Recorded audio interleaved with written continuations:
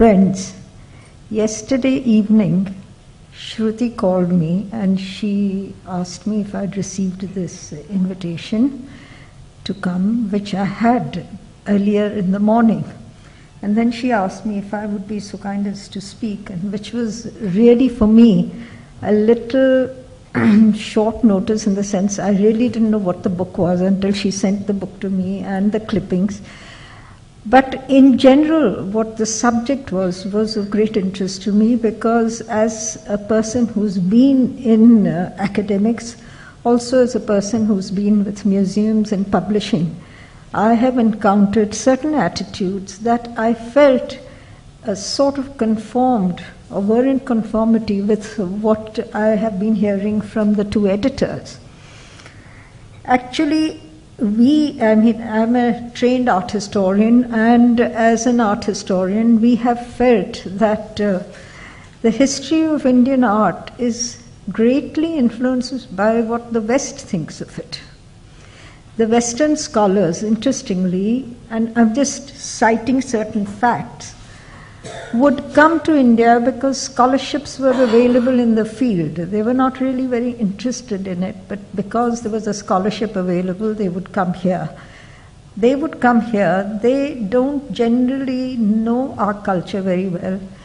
They don't understand our languages. Certainly, they've taken a course here or there and uh, can speak a little bit of possible Hindi or understand a little more Sanskrit. But uh, really, when they come to India, the Indians, I mean, it's much too overpowering an image for them. They come here, they live here, and half of them, I would say, just because they have to stay in certain places, you know, sometimes because Indian art and culture is at places like Banaras or in uh, certain villages where they're conducting their research, researches, when they come to Bombay, the exclamation is, ah, civilization. So, what I'm trying to say is there is what you all have been noticing and commenting upon is there is an inbuilt bias that civilization is only when you come to a city like Bombay, which is a modern metropolis with roads and uh, tall buildings and an infrastructure which corresponds to what they are used to then it's civilization, otherwise, it is not. I mean, the fact that you have such an ancient civilization doesn't really matter. So, these are the things, and you see, this sort of, uh, we had uh, about 10 years ago commented on this that, you know, the Americans find that there, as far as I'm only talking of Indian art and culture, but I'm sure that represents what we all must be noticing in our own disciplines the fact is that they come here because they find that they have exhausted quite a lot of uh, lot of work in their own fields in their own countries. You know, if they're studying uh, European art history, maybe there's nothing very much left on Rembrandt to do. But when they come to India, they have this Wild West, I'm talking of the Americans, Wild West uh, mentality. Ah, we are on the frontiers of knowledge we, there are only two or three books on this subject, and we can bring what we will bring out will be the authoritative version on that subject. Well, it's wonderful to have someone with the excitement to come and want to do pioneering research, but the idea you get is it's not that it's their interest, it's the money that is being given to them, and the cherry is ripe for picking, so come. This is this is some of the attitudes. I must say that a lot of work that has been done by them has been extremely innovative. It's a new way of looking at it. We Indian scholars, me particularly, I would say, is am totally indebted to my American education in art history. I feel that it has equipped me to deal with the Americans or the Westerners on their own ground in their own manner. And unfortunately, our own scholars do not try to match that. Maybe our teaching institutions don't teach it. Whatever it is, they've cut such poor figures in international seminars. Their knowledge may be profound, but they're not in a position to, to present it. So we already start with a disadvantage. Then most Indian scholars are so thrilled or so overawed by the fact that a foreigner is interested in whatever work they're doing that they're very, very keen on giving their knowledge. I mean, it is pathetic at the way in which we behave. And and you know they're, they're looking for little handouts our scholars which is sad why should they be in that position you know a trip abroad or if i will be invited then i will give you this and maybe you can get me there for 2 months or so. It's it's sad. And you know i feel sorry that we in this country are first and foremost neglecting our own heritage because it's not properly taught in schools. Yesterday, I was sitting with my grandson to do his help him with his history for his history examination. And the sort of irrelevant details that the child is supposed to learn is just amazing. There's no need for that. They don't give a, a, a sort of outline and an interesting way of looking at it. They give you little things to remember, which, which you know, a child will mug up and forget immediately. So we ourselves are to blame at the way we have structured our education. We ourselves are to blame with the way that our scholars are not equipped. Why is it not possible for us to have an Academy of Indian Art and Culture where scholars would be taught how to present their images? They have poor slides. We never used to have good photographs in the earlier years. Today, with good uh, digital uh, cameras and all things have changed, but you know, I, as a student and as a scholar, used to, when I came home from my trips abroad, I wasn't bringing things that are interesting for most people. What was I bringing? I was bringing films.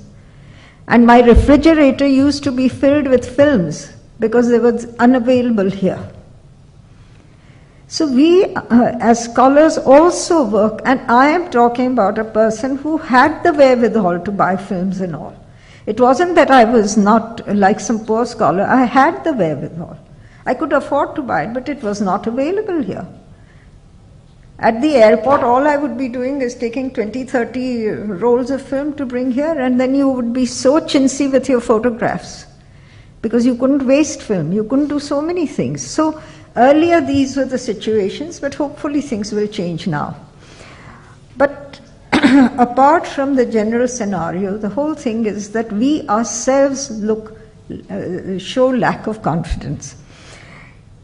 About 20 years ago, I was invited to a Greek seminar, a, a seminar in Greece on contemporary art. And what was the seminar? It was an international seminar. Who were the people at it? Most of it was people from Europe and America, noted critics, then there was a Persian painter who lived in Paris. There was a Kuwaiti painter who lived in Paris. There was me, and there was one Chinese scholar who couldn't speak a word of English. Chinese painter. He was a, uh, an orthodox painter in the Chinese ancient style. So, this is the representation. In the representation, when I showed our modern art, all of them started sniggering and what was the reason? Oh, it's so derivative. It has nothing inventive to say, it has nothing new to say. And um, some of the people got up and left, you know, showing no interest. So later on, because we were all together in that seminar, we would all have lunch together. It was amazing. It was these established scholars, people like Lucie-Smith, who was a known English critic but the younger people came. They said, We found it very interesting. You know, we could see that you have a different style of painting. And I said, Yes, because, you know, we are an old culture. And we, it is a continuation in a different way, in a different era, but it's a continuation of our own thinking. Of course, they didn't believe it. And when Lucie-Smith was chatting with me later on, he said to me, You know, your country has not progressed beyond craft.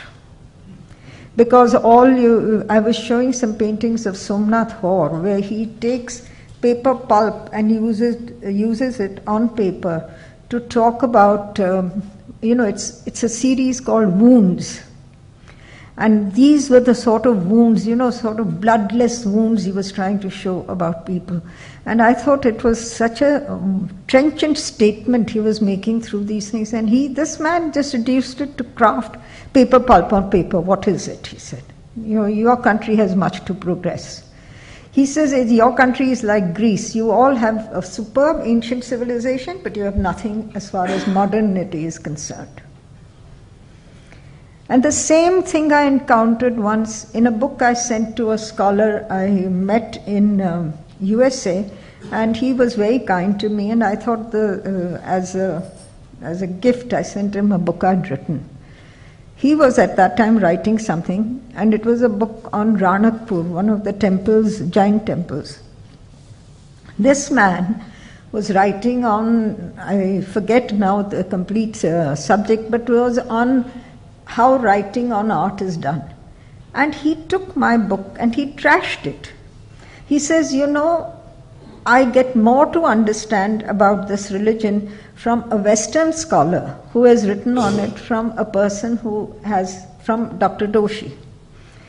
Now, here I am, I live in India. I am a practicing Jain. I know a lot. I have studied Jain art for 30 years. And I can't write properly, whereas a person who is American can write better. But the thing then, as I was talking to my husband, he says, Saryu, in this case it is that Chatterjee understands what Banerjee says. So it is like they only understand each other, they don't understand anyone else. So we have to just accept it as that. So these are the sort of prejudices and that one encounters in this field. But having said that, let me tell you that I have some wonderful friends, all of them who have been extremely helpful in academic work, in doing my research, in inviting me to lecture, in having me over. So these are a few examples. But what I'm trying to suggest to you is that not the, I'm not saying all of them are like that, but certainly there are underpinnings of such attitudes which you which surface, at least in my case, have surfaced now and again, and I have been very deeply, what shall I say, I felt it sort of shatters you because they are your friends, you respect them, you look up to them, you admire their writing, you admire the way they conduct themselves, and then you feel that they can be so petty and so trite in certain things. So I would just say that this is a wonderful movement that has started. I think it is important that we bring it to their notice. Maybe they're doing it unconsciously. Maybe it's a, it's a sort of worldview which they have inherited and with which they approach everything as being the West being the best. Uh, just to give you an example, the thing is, as I told you about modern art, how it was trashed at that international seminar.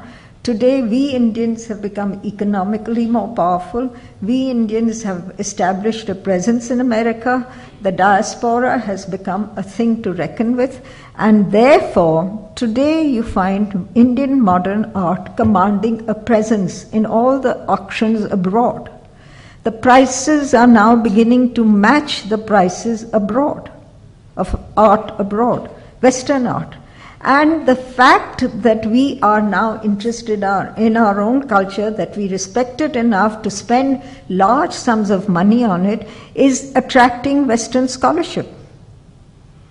Western scholars are coming out to India to study contemporary Indian art. 20 years ago, it was trashed as being nothing. So I think it is we, we with our own self confidence, with our own attitude towards ourselves, with our own, mm, you know, pride in our own culture, we will be able to counter this also, apart from books like this. But we ourselves are important in getting a different point of view aroused in people. With that, I thank you all and I'll see you.